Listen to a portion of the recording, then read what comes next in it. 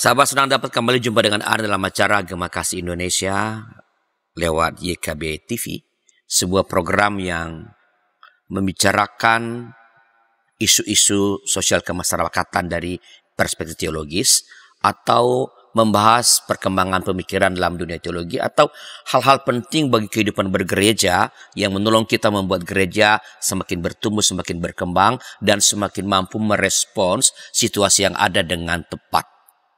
Dan dalam perjumpaan kali ini kita akan membahas sebuah tema yaitu memaknai Kamis Putih. Saya Pendeta Desla Rosa sebagai pembantu percakapan kita dan untuk mempercakapkan ini telah datang di studio narasumber kita Bapak Pendeta Hiskia Anugrah Gunawan. Selamat datang kembali Pak Pendeta Hiskia. Terima kasih Pak Arianus ya. untuk kesempatannya. Iya, ini kesibukan di jemaat bagaimana ini? Ya, ini menjelang Paskah lah. Jadi cukup padat. Cukup padat. Ya. padat merayap. Iya. Ya. Ya. Sahabat Pendeta Eskia adalah pendeta GKI di Taman Aries ya, memberi minat pada uh, masalah liturgi, pedang liturgi dan juga nyanyian-nyanyian gereja ya. Dia dipercaya menjadi wakil ketua dari Komisi Liturgi Musik Sinode GKI dan juga wakil ketua dari Komisi Liturgi dan Musik Sinode GKI Sinode Wilayah Jawa Barat ya. Jadi beliau diberi kepercayaan di dua tempat ini di sinode sama sinode wilayah. Beliau aktif memberikan ceramah-ceramah tentang liturgi di sejumlah gereja. Jadi kita berbicara dengan orang yang memang mendalami um, uh, pokok yang kita bicarakan ini.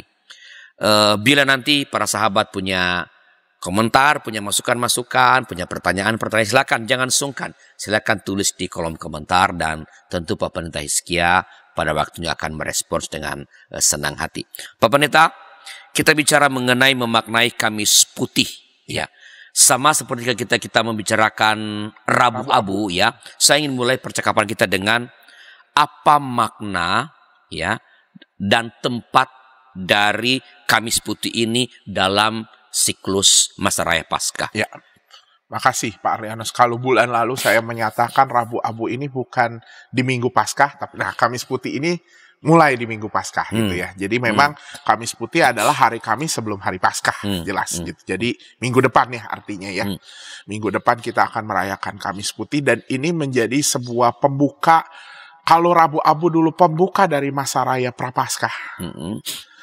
Kalau Kamis Putih ini adalah pembuka dari masa tri hari suci hmm. gitu ya tiga hari menjelang Paskah gitu ya Tridum ya Tridum hmm. nah, bahasa Latinnya disebut hmm. Tridum yaitu hmm. Jumat Agung di hari Sabtu Sunyi dan Paskah Kamis Putih ini adalah pembuka hmm. dari masa raya dari tiga hari hmm. suci itu hmm. Tridum itu dan sama sebenarnya serupa seperti Rabu Abu gitu ya. Abu di sini kalau abu di situ juga dulu bukan warna ini hmm. juga sama gitu. Hmm. Kamis putih putih di sini bukan menunjukkan warna. warna gitu. hmm. Hmm. Dalam bahasa Inggris Kamis putih ini diartikan diistilahkan dengan Maundy Thursday. Maundy berasal dari kata mandat. Karena di dalam Kamis putih ini sebenarnya kita memperingati Tuhan Yesus yang memberikan perintah baru. Hmm. Mandat, mandatum novum. Hmm. Mandat hmm. baru, perintah baru. Hmm. Tapi ada juga yang mengatakan bahwa uh, Holy Thursday gitu ya. Mm. Kamis suci gitu. Hmm. Nah, jadi mm. artinya memang putih di sini adalah suci. Nah, oleh karena itu seperti di GKI Kamis putih itu karena tetap masih dalam rangkaian masa Prapaskah. Mm -hmm. Itu warna liturgi tetap ungu. Mm. Tapi kadang kala karena putih, ya. putih jadi mm. oh ya ini putih yeah. gitu. Enggak uh, putih di situ bukan bicara warna, mm. tapi lagi-lagi bicara soal mm. uh, karena di sini kita memperingati uh, kesucian cinta kasih Yesus sebenarnya. Hmm. Pada intinya di situ gitu. Dan sebagai pembuka dari Tri Hari Suci, uh, artinya Kamis Putih ini memang memiliki makna supaya umat, supaya gereja bisa memiliki pemahaman yang benar terhadap peristiwa penyaliban, hmm. kematian, penguburan, dan bahkan kebangkitan hmm. Kristus. Nah jadi kan tadi ini pembuka dari tri hari suci, suci Pak Pendeta. Jadi uh, dari kematian lalu Yesus berada di dalam di dalam kuburan, kemudian bangkit. kebangkit. Nah, apa sih uh, yang hendak diingatkan kepada umat melalui uh, Kamis Putih dan eh, rangkaian yang mengikutinya. Tri hari suci ini. Hmm. Ya, jadi memang Tri hari suci ini adalah bagian dalam tahun liturgi gereja yang memang betul-betul seolah kayak mendramatisasi hmm. uh, peristiwa Kristus yang diceritakan di dalam Injil, gitu ya. Hmm. Jadi memang fungsi dari mendramatisasi ini tentu bukan supaya jemaat menonton sebuah drama, hmm.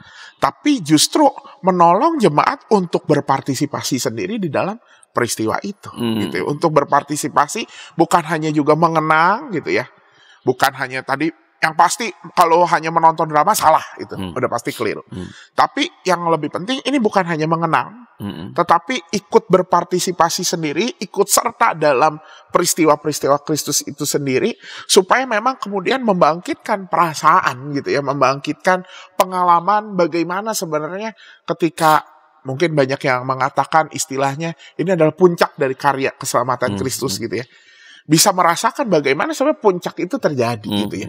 Perasaan apa yang terjadi karena kalau kita mengikuti tri hari suci uh, tri hari ini gitu ya, tridum. Mungkin hmm. saya langsung istilah tridum. sedepannya tridum ya, yeah. sobat uh, semuanya gitu ya.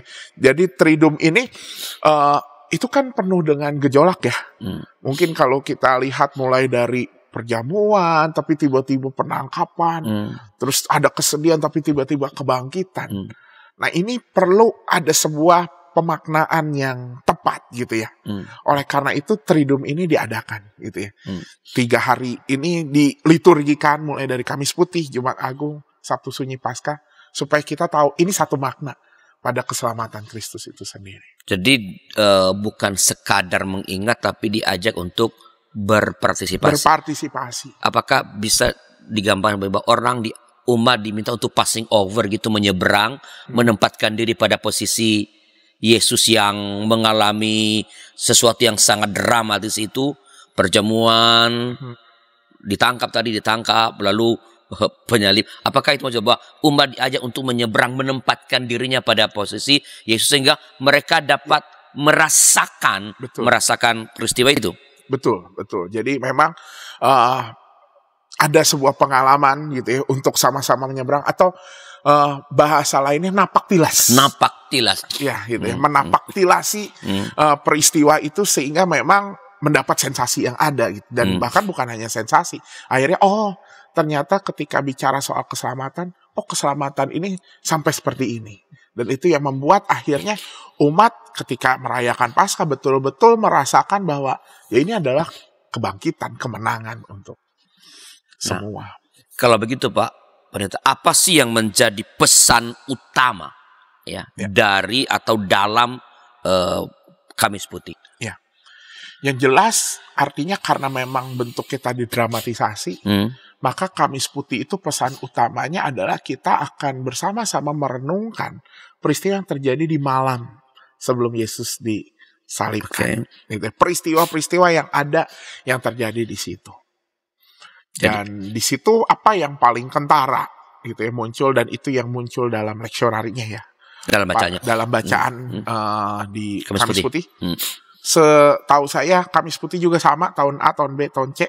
Tetap bacanya. Tetap bacaannya dan itu semua bicara soal mandatum novum. Hmm. Soal perintah baru, soal cinta kasih. Hmm. Hmm.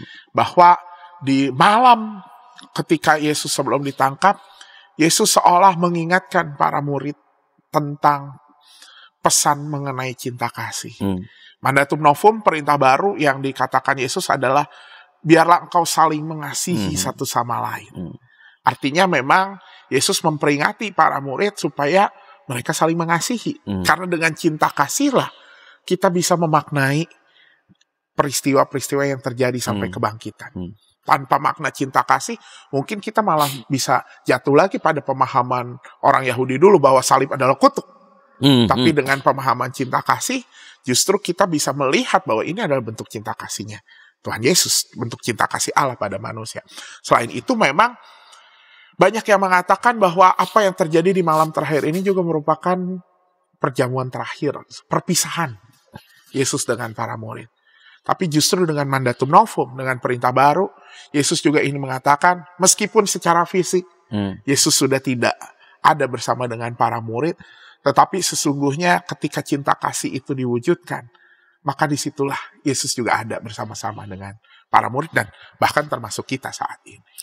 Itulah perintah baru yaitu untuk saling Mengasihi. mengasihi ya. Ya. Dan apa namanya Yesus tadi pada peristiwa terakhir apa eh eh, perjamuan ya. Ya. pada perjamuan mem- meminta menolong umat untuk me- Menge- mengingat, meng- mengingat mengenal mengenang gitu. ya dan berpartisipasi jadi kita ikut di dalam Di, Di- dalam peristiwa, peristiwa. tersebut, meskipun kita sudah hidup jauh Hmm, 2000 tahun, tapi ya itu tadi, mungkin bahasa Indonesia yang tadi napak tilas. napak tilas ya. Istilah itu. Nah, apa saja nih Pak Pendeta yang dilakukan dalam liturgi Kamis Putih apa saja sih? Nah, Garis besar. ini yang cukup panjang Pak Arlianus. Nah, jadi karena memang kalau kita mengingat apa yang dilakukan di malam sebelum Yesus ditangkap, Hmm, itu adalah ada banyak peristiwa yang hmm, bahkan tadi dinamika sangat kerasa. hmm. Bagaimana mungkin kalau kita mengingat peristiwa pembasuhan mungkin penuh dengan emosional Hmm, gitu ya. hmm. Karena beberapa kali saya mengikuti praktik Kamis Putih juga, waduh kalau pembasuhan kaki itu biasanya jemaah nangis gitu ya dan segala macam tapi Hmm. tiba-tiba berubah ketika penangkapan yang begitu menyeramkan. Nah, oleh karena itu memang apa yang dilakukan gitu ya eh, jangan kaget juga so- sobat eh, bahwa Kamis Putih ini salah satu ibadah terpanjang Terpanjang. dalam tahun liturgi, dalam satu tahun liturgi gitu ya. Karena apa? Minimal gitu ya Hmm. sebenarnya ada empat ritus Oke, apa aja itu Pak? yang dilakukan di Kamis Putih. Yang pertama adalah pembasuhan kaki, Pembasuhan, lalu yang kedua adalah perjamuan terakhir. perjamuan terakhir, Ya. oke. Yang ketiga adalah nah ini ada yang disebut dengan ritus tenebrae. Oke. Nanti kita akan bahas. Oke. Yang keempat adalah ritus bahasa Inggrisnya stripping of the church. Hmm. Jadi pembersihan benda-benda ibadah dari dalam Alat-alat gedung- liturgi. alat-alat liturgi Dari- dari gedung gereja. Oke, kita supaya jangan uh, dapat uh, para sahabat DKB dapat punya pemahaman yang apa namanya memadai tentang ini. eh, saya ingin mengajak Pak Pendeta menolong kita untuk membahas ini secara eh, satu persatu. Tadi kita tadi kan ada pembasuhan kaki, Ya. ada peristiwa perjamuan terakhir, ritus tenebre, lalu pembersihan gedung gereja dari perangkat-perangkat ibadah. Betul. Nah, kita mulai dari pembasuhan kaki. Apa makna pesan dan ritus pembasuhan kaki ini dan bagaimana pelaksanaannya? Tentu setelah beberapa informasi berikut ini.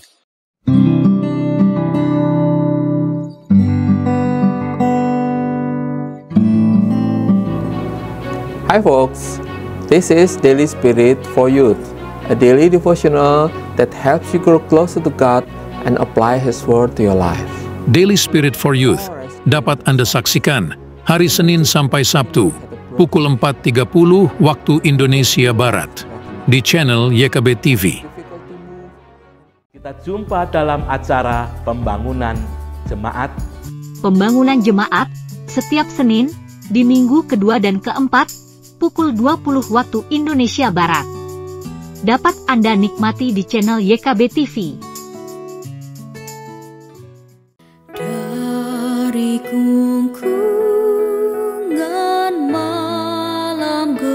Nyanyikanlah nyanyian baru setiap hari Rabu pukul 12 waktu Indonesia Barat. Dapat Anda nikmati di channel Lagu Rohani YKB TV.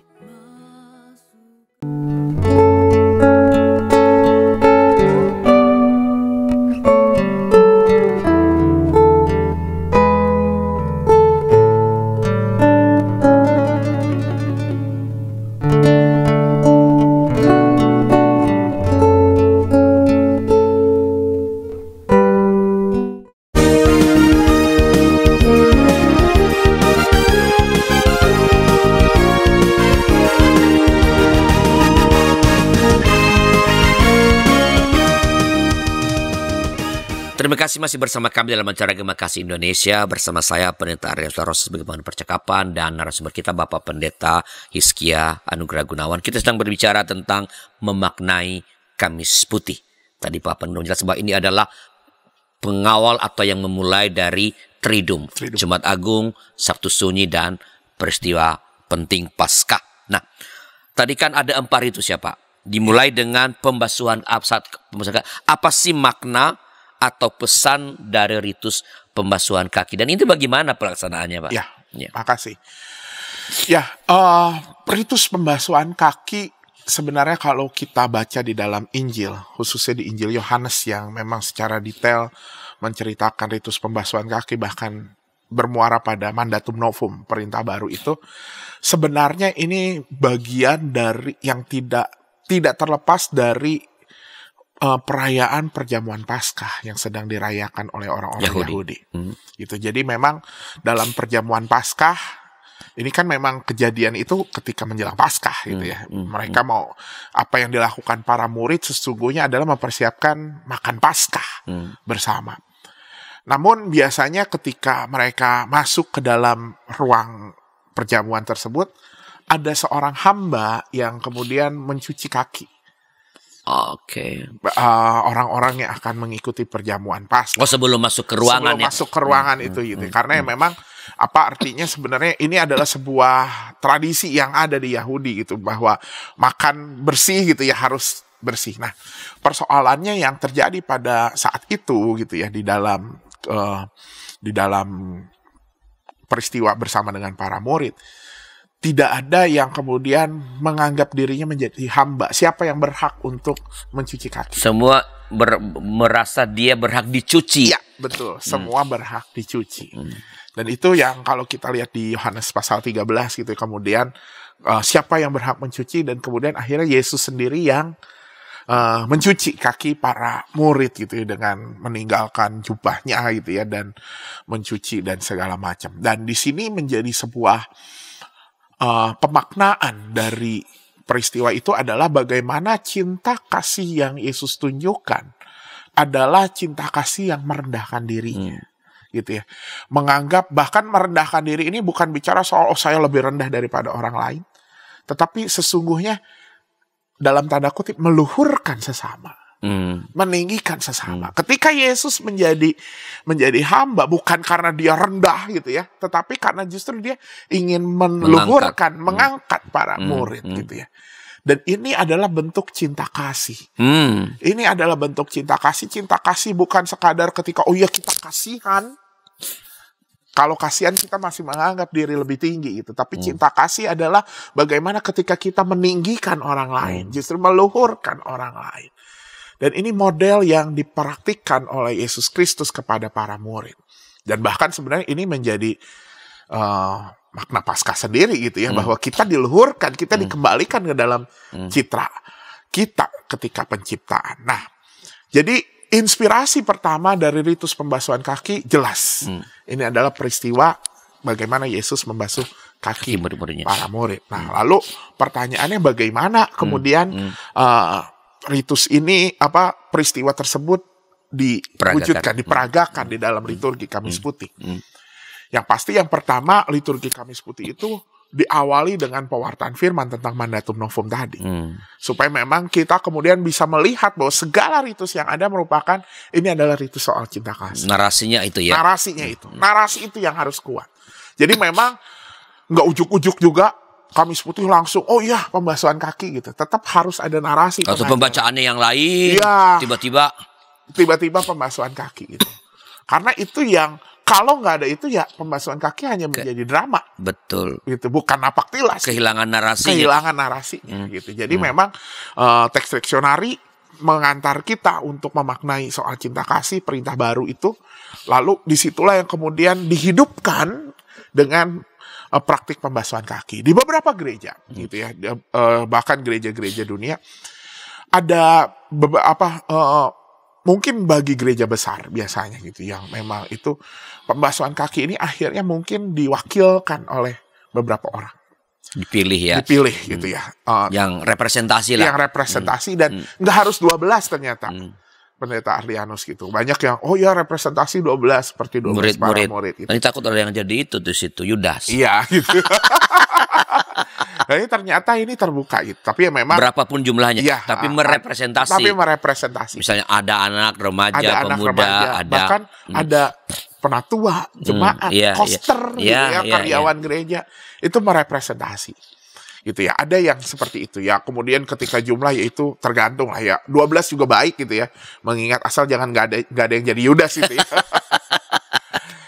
Tapi memang kalau gereja yang kemudian mampu melakukan gitu ya, Hmm. uh, mungkin gereja yang dalam jumlah jemaatnya lebih kecil itu bisa juga dilakukan Kesel- seluruh untuk seluruh umat. Karena pada prinsipnya adalah bagaimana umat bisa mengalami. Hmm. Tapi tentu juga ini yang harus jadi perhatian orang yang mengikuti oh, pembasuhan kaki ini akhirnya cuma sekadar ikut-ikutan. Balik lagi harus muncul dari sebuah pemahaman bahwa bahkan bukan hanya yang di bukan hanya yang membasuh merendahkan diri. Hmm. Tapi kadangkala yang dibasuh pun harus merendahkan Hmm. diri karena merasa ah saya nggak merasa nggak merasa Layak. layak, gitu ya untuk dibasuh. Itu yang terjadi awal seperti Petrus. Tuhan nggak usah basuh Iya, gitu. iya, iya. Tapi kemudian ketika pemakaian dia udah basuh semuanya gitu. Hmm, Karena kadang ketika diri kita pun dibasuh ada rasa gengsi yang harus kita tanggalkan. Hmm. Ada rasa bahkan ini yang jadi persoalan ngomongin kasih itu gampang untuk kita memberi. Hmm. Tapi kadang-kala ada dimensi ketika ngomong kasih kita ada kalanya kita juga harus menerima. Hmm. Dan itu yang termaknai di dalam peristiwa pembasuhan kaki, ritus pembasuhan kaki. Baik yang membasuh maupun yang dibasuh. Perlu ada pemahaman bahwa cinta itu bicara soal memberi maupun menerima. Jadi ketika pemasuhan terjadi kalau tak bisa besar pilihan yang membasuh siapa di situ Pak Pendeta? Nah, yang membasuh siapa itu pun eh, tidak ini karena ini juga bukan sakramen. Ya, Hmm. ini Jadi jelas ini mesti bukan- pendeta. Tidak mesti pendeta. Hmm. Gitu ya. Tapi baiklah, baguslah kalau Baik. pendeta melakukannya. Betul, Iya. karena memang akhirnya bicara soal ya mau tidak mau di dunia ini bicara ada otoritas gitu Iya. ya. Hmm. Dan memang ketika eh, ketika Yesus yang kemudian membasuh kaki itu kadang dianggap sebagai or- otoritas yang Hmm. punya otoritas justru yang merendahkan diri. Ini yang memang kemudian akhirnya pendeta atau para penatua gitu ya, Yang pejabat gerejawi yang melayani Hmm. eh, pembasuhan kaki, khususnya kalau itu representasi Hmm. dilakukan representasi. Tapi kalau misalnya itu memang dilakukan oleh seluruh umat gitu ya, rasanya kesian pak pendetanya gitu ya. Seribu orang gitu ya membasuh besok Jumat Agung nggak bisa Nggak bisa berdiri. nggak bisa berdiri gitu ya. Karena itu memang akhirnya biasanya ada yang melakukannya itu antar jemaat Anggota gitu ya, antar saling membasuh. saling membasuh sama seperti lain. tadi waktu penorehan eh, seperti bulan yang lalu Ya, penorehan abu, abu saling meno- abu, sal- ya, saling saling mengoleskan. mengoles, sekarang saling membasuh. saling membasuh Iya. gitu ya. Atau ada beberapa yang saya baca gereja-gereja yang melakukan pendekatan ke keluarga gitu. ya. Oh. Justru yang membasuh adalah ya kepala keluarga, baik itu mungkin orang tua laki atau perempuan Kepada anak-anaknya. kepada anak-anaknya. Ya, menarik, menarik. Gitu. Nah, eh itu mengenai tadi apa? Pembasuhan, Pembasuhan kaki. kaki. Kita lanjut ya Pak Pendeta ya. Ya. Peristiwa perjamuan terakhir. Silakan. Nah, ini ritus kedua yang memang terjadi gitu ya. Jadi memang ketika pembasuhan kaki terjadi pasti mereka masuk dalam perjamuan. Hmm. Perjamuan malam saat itu adalah perjamuan Paskah di mana perjamuan Paskah yang terjadi pada saat itu adalah mengingat Paskah masa lalu. Ketika bangsa Israel dibebaskan, Hmm. dilewati bahkan Pasca Yahudi ya. Pasca Yahudi Hmm, gitu hmm, dilewati oleh apa yang malaikat yang akan membunuh anak sulung itu kan terlewati Hmm, dilewati itu pasca kan hmm, makna hmm, pasca. hmm. Jadi memang oleh karena itu apa yang dilakukan bagaimana cara untuk dilewati kan mereka makan makan roti tidak beragi gitu lalu mengoleskan darah anak domba Hmm. gitu ya di dalam itu itu yang tetap dirayakan. Tapi di dalam Kristus di dalam peristiwa perjamuan terakhir bukankah Yesus sendiri yang kemudian memberi makna baru terhadap perjamuan Paskah terhadap Paskah itu? Bahwa memang Paskah eh, Paskah yang dilakukan sama-sama bicara soal membebaskan tapi bukan sekadar membebaskan dari maut Hmm. gitu ya dari penjemput maut gitu tapi memang dari maut itu sendiri maut yang nyata dalam kehidupan maut kehidupan itu Hmm. dan melalui apa Yesus sendiri yang mengatakan bukan roti tidak beragi tapi inilah tubuhku yang diserahkan bagimu jadilah eh, buatlah ini menjadi peringatan, Peringatan. akan aku Hmm. dan ini adalah cawan yang mengingatkan pada Tuhan telah Tuhan Yesus mencurahkan darahnya bagi kita. Jadi memang perjamuan di sini adalah bicara soal kita mengenang bagaimana lagi-lagi ini bicara soal cinta. Hmm. Kalau tadi ngomong aspek cinta adalah merendahkan Hmm. diri Hmm. gitu ya untuk meluhurkan sesama. Di sini bicara soal kita mengenang bahwa cinta kasih itu juga bicara soal pengorbanan, Hmm. Memberikan diri gitu ya, memberikan darah, bicara soal pengorbanan. Nah, oleh karena itu memang dalam peristiwa bagaimana mengenang perjamuan malam terakhir ini ada dua Mhm. ada dua alternatif Hmm. yang dilakukan. Yang pertama adalah khususnya ini dilakukan oleh gereja yang memang melakukan perjamuan setiap minggu, Hmm. gitu ya. Hmm. Ya dalam hal ini gereja Katolik, Katolik. bahkan bukan hanya setiap minggu, Hmm. di misa harian pun Ada, Ada. Ekaristi. ekaristi. Hmm. Maka ya mereka melakukan gereja-gereja seperti ini melakukan perjamuan kudus Di ekaristi, Kamis. di Kamis Putih. Hmm. Dan itu akan menjadi benar-benar perjamuan terakhir, Hmm. Pak Arlianus. Hmm. Karena apa? Karena di Jumat Agung, gereja-gereja melakukan perjamuan kudus seperti dengan model ini. Gereja Katolik misalnya. Di Jumat Agung itu tidak melakukan perjamuan Hmm. kudus. Satu-satunya hari yang tidak melakukan perjamuan kudus Di adalah Jumat Agung. di Jumat Agung. Hmm. Gitu ya. Jadi memang ini menjadi perjamuan terakhir sebelum kemudian perjamuan itu mulai lagi dilakukan di hari Paskah Hmm. gitu ya. Jadi benar-benar perjamuan terakhir. Itu gereja-gereja yang memang kemudian mengadakan perjamuan setiap minggunya. Lalu ada hal kedua gitu ya, alternatif kedua yang juga dilakukan oleh gereja-gereja di dunia. Hmm. Disebutnya agape feast, Oh. perjamuan Kas- agape Hmm. atau bahasa Indonesia perjamuan kasih Hmm, hmm. gitu ya. Perjamuan kasih ini dilakukan kenapa kemudian bukan perjamuan kudus yang dilakukan Hmm. gitu. Karena memang perjamuan di sini lebih memiliki narasi soal cinta kasih tadi Hmm. gitu ya. Saling Saling melayani, saling memberi gitu ya. Oleh karena itu memang supaya makna itulah yang ter ini ya yang terekspresikan dalam liturgi maka model perjamuan yang diberikan adalah perjamuan kasih gimana caranya perjamuan kasih ini wah ini tergantung sih sebenarnya ya akhirnya ke keberadaan gereja Situasi. masing-masing. Situasi masing-masing. Saya pernah mengikuti sebuah ibadah di salah satu GKI perjamuan kasih ini benar-benar jemaat diundang untuk membawa makanan Dari rumah. dari rumah masing-masing gitu ya. Lalu dikumpulkan sebelum ibadah gitu ya. Dan ketika masuk dalam perjamuan kasih ini dibagikan makanan-makanan. Mungkin itu makanan-makanannya ada yang roti-roti gitu ya atau jajanan pasar gitu. Tapi ada juga karena supaya lebih enak ada yang pakai misalnya perjamuan roti isi tapi roti unyil gitu ya. Oh, oke, yang kecil. Ah, ah, roti Hmm. kecil. Tapi dan akhirnya dari perjamuan kasih ini juga bukan hanya orang-orang yang berhak mengikuti perjamuan kudus. Semua orang. Semua orang anak-anak gitu ya. Bahkan bisa ikut perjamuan kasih ini gitu. Karena kita merayakan cinta kasih nah ada satu juga yang saya baca dari gereja di luar negeri. Bahkan perjamuan kasih ini dilakukan gimana caranya ketika mereka setelah selesai melakukan baptis apa eh, bukan baptis apa pembasuhan kaki gitu ya. Mereka kemudian merayakan cinta kasih ini kemudian pindah ke ruang persekutuan gitu ya ke mungkin kalau di Indonesia mungkin ada aula gitu untuk makan Di Makan bersama. makan bersama Iya. makan benar-benar literally perjamuan kasih gitu ya itu dua ada di dalam ada simbol tadi yang kecil-kecil di dalam di luar ke aula atau dari ruang ibadah dari ruang ibadah langsung justru langsung eksodus. Ya betul gitu. Jadi ini hal yang menarik. Kayaknya saya nggak pernah mengikuti model seperti ini, tapi ketika baca literatur ini wah menarik juga gitu Hmm. ya. Jadi memang eh, di dalam liturgi itu benar-benar literally perjamuan kasih sebelum masuk kembali asal untuk jangan saling berebut makanan ya itu ya. Karena prinsipnya aja Hilang, mengas-. Nah, gitu.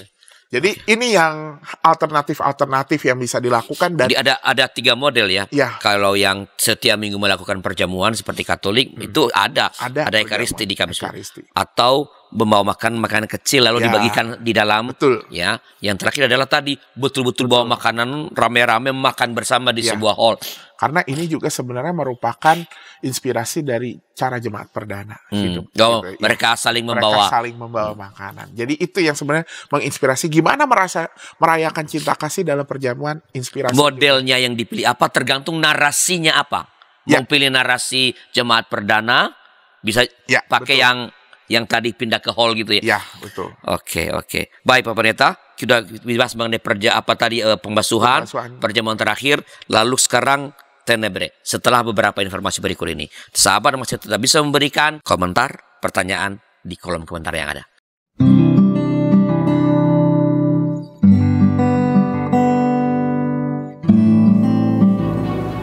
Hi folks, this is Daily Spirit for Youth, a daily devotional that helps you grow closer to God and apply His Word to your life.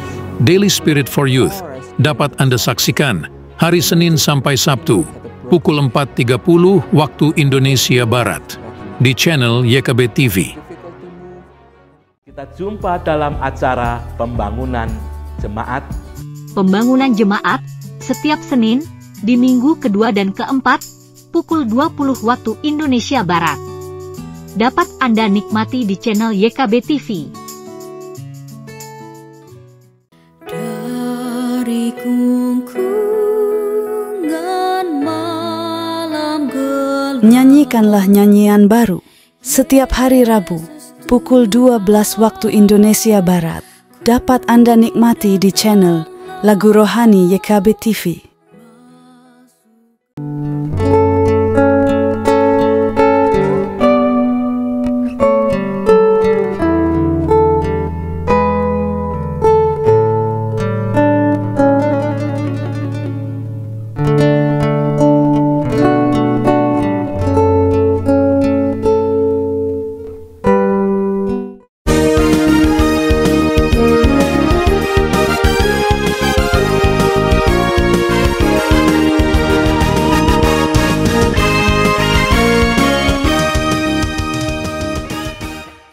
Sahabat masih bersama kami dalam acara Gema Kasih Indonesia. Saya Pendeta Aris Larosa, pemandu percakapan kita dengan narasumber Bapak Pendeta Hiskia Anugerah Gunawan. Kita sedang berbincang tentang memaknai Kamis Putih. Ini adalah segmen terakhir, tapi para sahabat masih tetap dapat memberikan komentar, pertanyaan, ya. Kalau permohonan doa juga silakan. Silakan kalau ada permohonan doa silakan juga boleh tulis di eh, kolom komentar yang tersedia.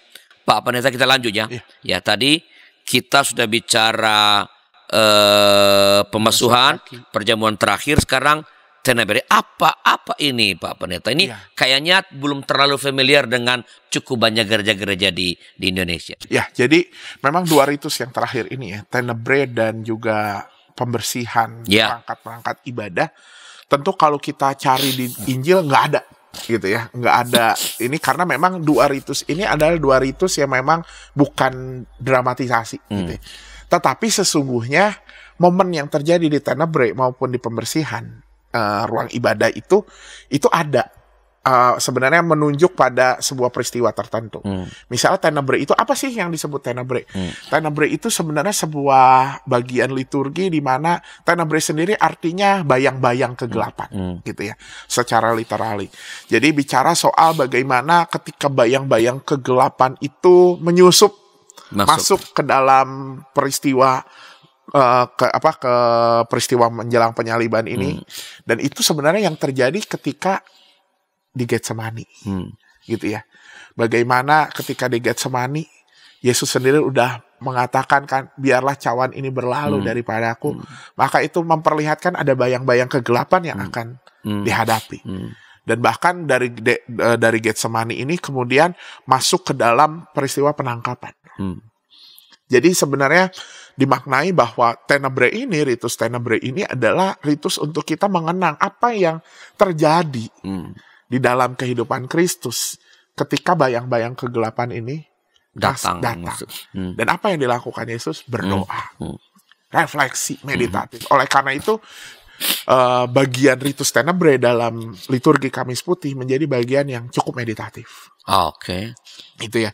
Cukup meditatif dan ada satu hal yang menarik dari Tenebre ini untuk menggambarkan bagaimana bayang-bayang kegelapan itu memang muncul di Hmm. dalam ibadah Hmm. yaitu dengan prosesi pemadaman lilin. Pemadaman lilin. Pemadaman lilin gitu. Ada Jadi- berapa banyak lilinnya, Pak? Ya, pada umumnya di gereja masa kini itu tujuh, kita Tujuh memakai lilin. tujuh lilin, gitu ya, tujuh lilin dan bahkan bahkan kalau tradisi monastik zaman dulu itu 15 lilin. Hmm.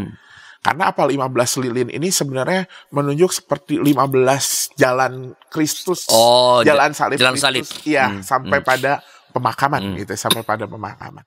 Tapi sekarang banyaknya kita menggunakan tujuh lilin. Nah ini Hmm. ada yang menarik pak soal Hmm, lilin. hmm. Jadi mungkin sekalian intermezzo dulu ya Hmm. soal lilin karena rasanya banyak gitu ya soal uh, apa namanya uh, masa prapaskah soal lilin. Nah ini ini ini waktunya sebenarnya di dari mana sebenarnya Iya. ritus itu terjadi gitu ya. Jadi mungkin saya ingin cerita di beberapa gereja gitu ya di beberapa gereja uh, prapaskah ini mungkin dulu gitu ya di GKI juga dulu uh, apa yang dilakukan selama minggu-minggu prapaskah adalah menyalakan lilin sama seperti masa Advent Hmm. gitu ya. Hmm. Padahal sebenarnya di dalam tradisi gereja gereja dunia prapaskah itu Nggak ada lilin ya? nggak ada soal Hmm, penyalaan penyalaan lilin. Jadi sempat kami di dalam komisi liturgi menduga itu ya, jangan-jangan ya memang ini adalah tradisi yang mungkin di Indonesia kah gitu ya, yang memang oh supaya sama seperti Advent gitu ya, Hmm. supaya serupa dengan Advent, maka kita lakukan. Lalu lilinnya dulu tujuh, Hmm. karena apa? Tujuh minggu sengsara. tujuh minggu sengsara gitu. Tapi Hmm. kemudian sekarang lilin enam gitu ya masa prapaskah. Nah, seingat kami beberapa tahun belakangan, mungkin 10 tahun terakhir, kemudian muncul bukan penyalaan lilin yang harus Pemadaman. dilakukan, tapi pemadaman lilin Hmm. yang dilakukan tiap minggu Hmm. prapaskah. Hmm. Nah, sebetulnya pemadaman lilin yang dilakukan tiap minggu prapaskah, ritus itu sebenarnya berasal dari ritus tenebre ini. Hmm. Hanya karena ritus tenebre ini jarang dilakukan di Kamis Putih. Hmm. Sehingga kemudian seolah ritus tenebrenya Disebar. disebar Hmm. gitu ya di dalam setiap minggu gitu ya. Nah, padahal sebenarnya gitu ya, eh, ritus tenebre ini secara khusus memang biasanya oleh gereja-gereja dunia dilakukan di Kamis Putih, Kamis Putih. malam gitu ya, Hmm. eh, setelah dua ritus soal Hmm. pembasuhan kaki, Hmm. lalu masuk ke dalam ritus tenebre ini untuk memperingati bagaimana cinta kasih Kristus justru membuat dia masuk dalam kegelapan itu. Hmm. Atau sebenarnya ada juga yang menggunakan ritus tenebre ini setelah Jumat Agung. Setelah Jumat Agung. di Sabtu Sunyi. Di, eh, jadi di Sabtu Sunyi. Ada yang seperti itu. Tapi pada umumnya memang melakukannya di malam menjelang Jumat Agung, malam Kamis Putih, menutup Kamis Putih ini.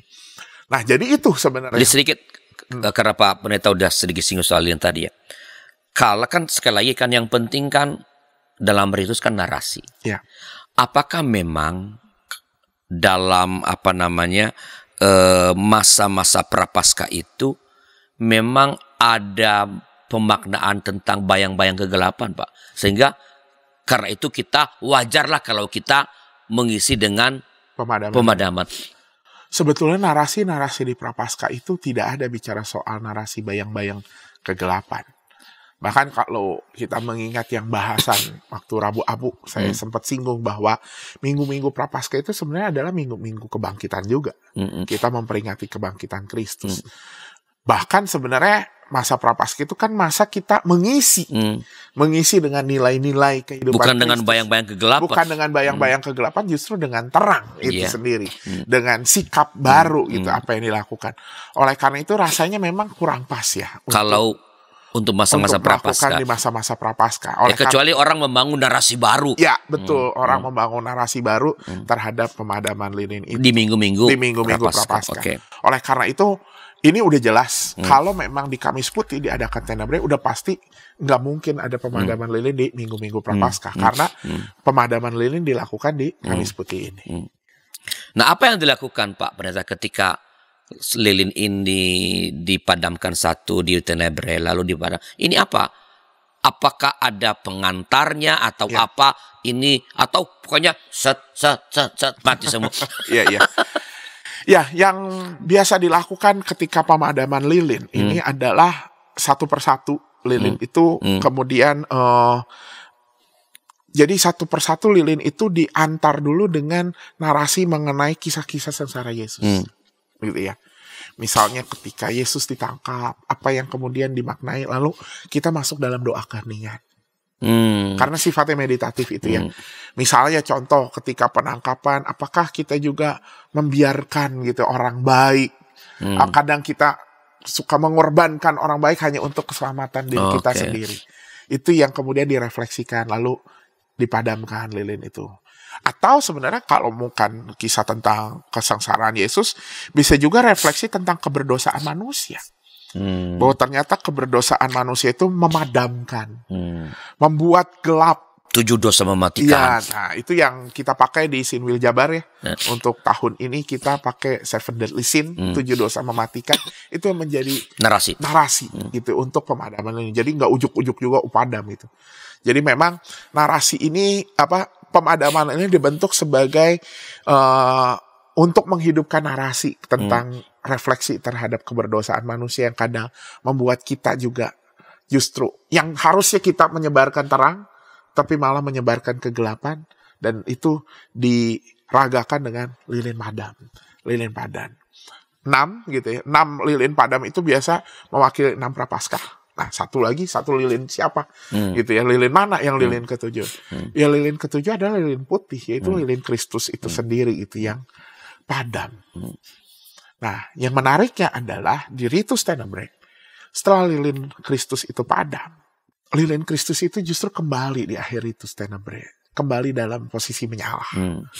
Artinya apa? Sebenarnya di situ ingin menunjukkan bahwa di dalam kegelapan sekalipun Kristus tidak pernah bisa dikalahkan. Hmm, kegelapan tak bisa kegelapan, mengalahkan. ya itu yang ada di Yohanes 1 Hmm, ya bahwa kegelapan tidak dapat Hmm, menguasainya. menguasainya, Hmm. gitu. Itu narasi yang muncul. Oleh karena itu dalam beberapa uh, narasi tenebre biasanya di narasi yang setelah kema- uh, setelah pemadaman yang lilin ketujuh itu muncul ya Yohanes 1 itu Hmm. bahwa terang itu sudah datang dan kegelapan tidak dapat menguasainya. Jadi yang penting adalah sebelum pemadaman satu lilin itu ada, Ada narasi. narasi. Lalu narasi itu menantang umat untuk merefleksikannya. Ya. apa nih? Apa kayak tadi kan kalau ah, tadi apa namanya penangkapan, apakah kita membiarkan orang Ya. benar? Jadi di samping narasi-narasi dari kitab suci, lalu kita membuat relevansinya kepada kehidupan umat. Betul.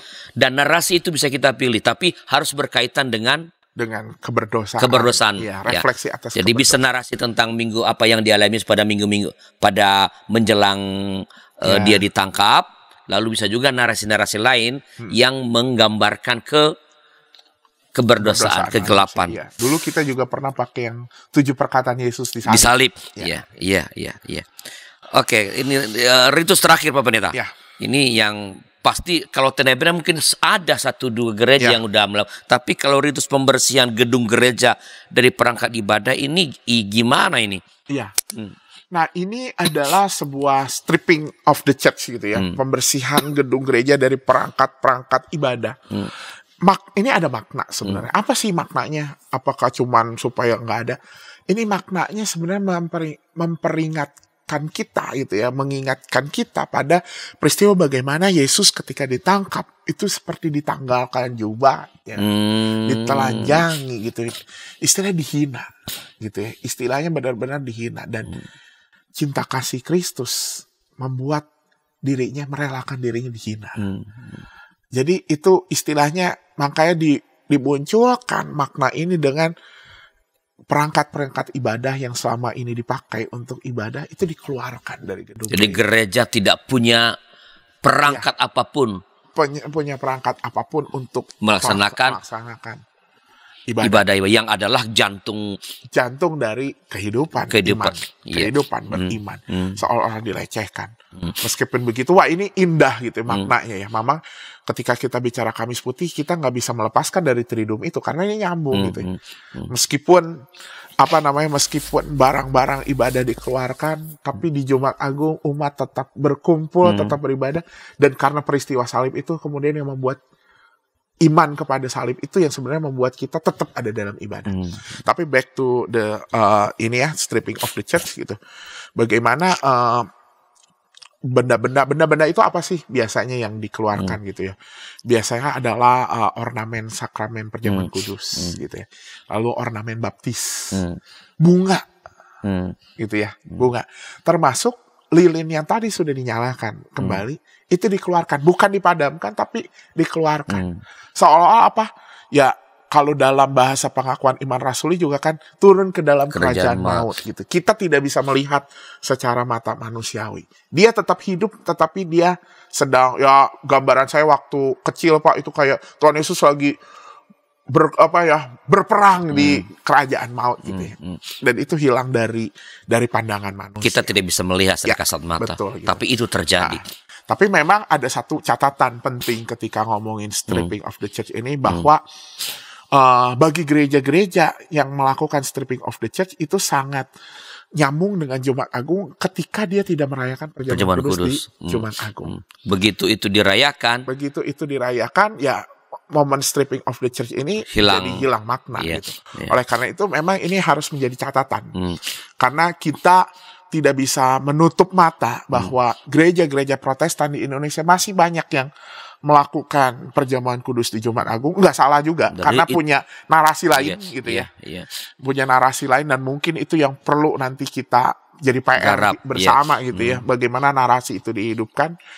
Eh, oleh karena itu memang balik lagi mungkin soal ritus stripping of the church ini bisa dilakukan bagi gereja-gereja yang, Yang sudah tidak melakukan perjamuan Perjamuan di kudusnya di, Jumat Jumat, Agung. Agung. Tapi kalau yang melakukan perjamuan kudus di Jumat Agung Sebaiknya kan tidak. sebaiknya tidak Karena nggak nyambung nggak nyambung narasinya. akhirnya narasinya. Hmm. Apa eh, semua dikeluarkan gitu ya. Tapi kemudian besok masuk lagi Ada. gitu ya. Nah. Ah. paling minimal yang bisa kita pakai adalah ah, si lilin itu yang keluar gitu. Bukan ornamen yang lain tapi lilin itu keluar gitu. Seolah Kristus masuk ke dalam kerajaan maut. Itu yang minimal yang bisa kita lakukan. Oke, ini untuk bagian terakhir pendeta. Apakah keempat Hmm. atau kalau bagi gereja yang masih merayakan perjamuan kejumaan- apakah ketiga Hmm. ritus itu ya eh, apa namanya pembasuhan kaki, perjamuan terakhir, tenebre dan kalau merayakan pembersihan eh, eh, apa ruang ibadah, apakah harus bisa sekaligus atau ini bisa dipilih sebenarnya atau Ya. satu atau dua dirangkai begitu? Betul.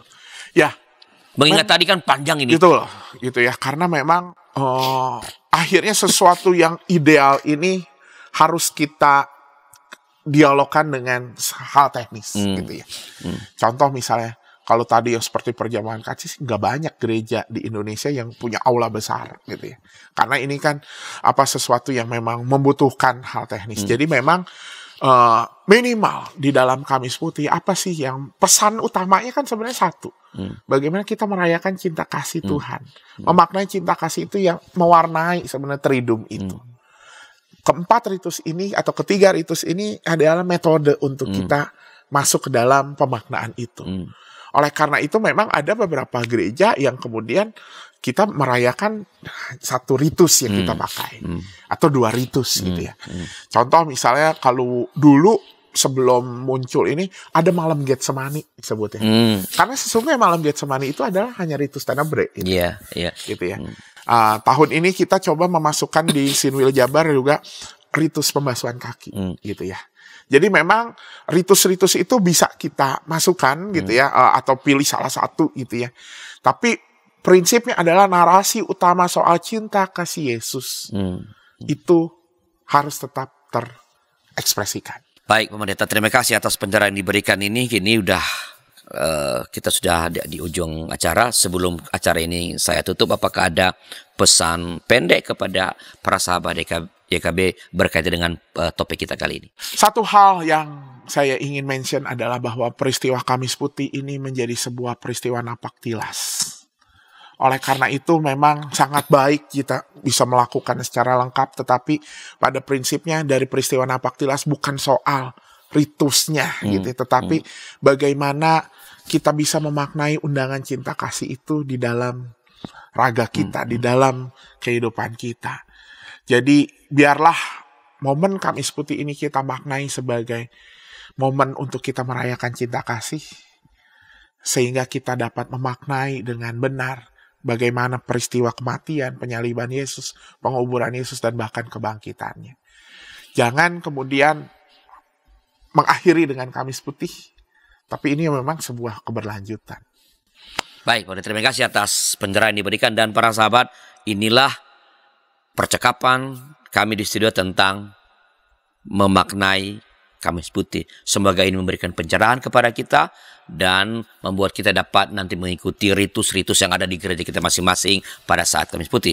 Bila ada masukan-masukan silakan kirimkan ke kami lewat 0812 818 9191. Ada komentar, ada permohonan doa juga silakan kirim kepada kami lewat nomor ini. Terima kasih sekali lagi dan sampai jumpa pada episode berikutnya. Tuhan memberkati.